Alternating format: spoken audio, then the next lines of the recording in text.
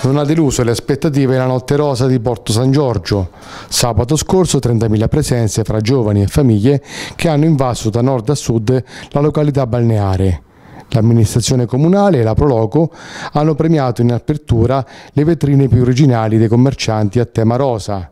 Quindi spettacoli di street band e concerti hanno animato le strade del centro lungo Viale Buozzi, Viale Giordano Bruno, Viale Cavallotti e Viale Oberdan. Sul lungomare Gramsci gli stand dei mercatini, quindi musica cubana e DJ Vicky attorno Piazzetta Silenzi. La notte più lunga dell'estate sangiorgese è proseguita fino alle 3 per molti giovani che hanno ballato al ritmo dei DJ set proposti dagli chalet. Da segnalare l'intervento costante delle forze dell'ordine presenti in modo massiccio al mega evento, per cui lo stesso sindaco Vesprini aveva emanato un'ordinanza di restrizione alla somministrazione di alcolici e di accesso alla spiaggia.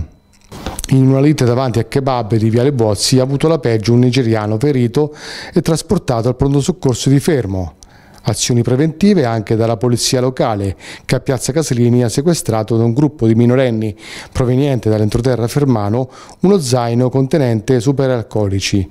Fra ragazzi minorenni registrati diversi casi di abuso di alcol per cui sono intervenute le ambulanze del 118.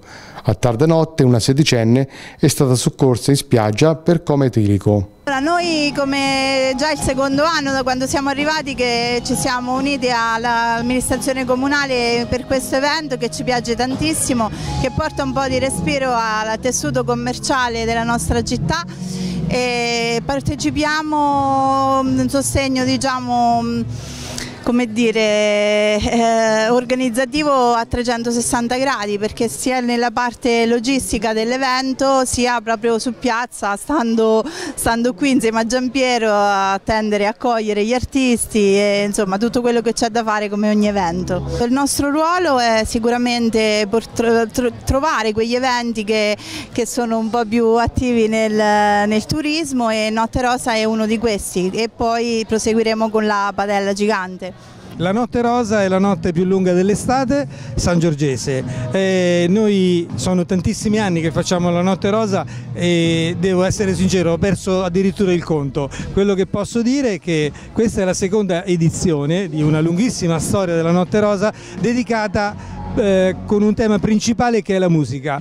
Abbiamo i due viali principali con eh, concerti, micro concerti, un grande villaggio per i bambini, anche per le famiglie e quest'anno la festa è cresciuta, si è allargata anche ai quartieri di Piazza Torino e a Porto San Giorgio Sud nella zona turistica Piazzetta Mosaico che questa sera ospiterà anche loro un bellissimo spettacolo. Che dire, è una bella festa, è, è mm, allargata a tutto il perimetro del centro e non solo.